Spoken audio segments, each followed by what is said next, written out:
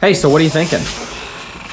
When people are buried, they should tie their shoelaces together Why would they do that? to prevent future zombie apocalypses.